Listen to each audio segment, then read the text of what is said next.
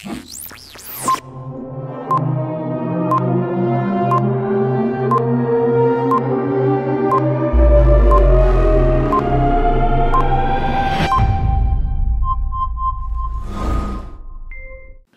are listening to KZET Cornerstone Online Live.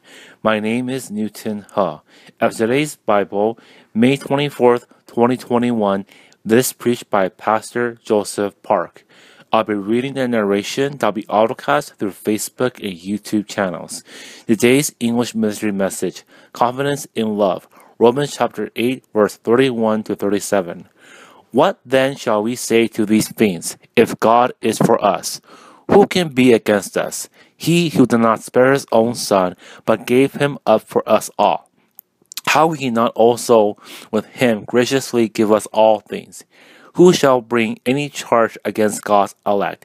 It is God who justifies, who is to, who is to condemn.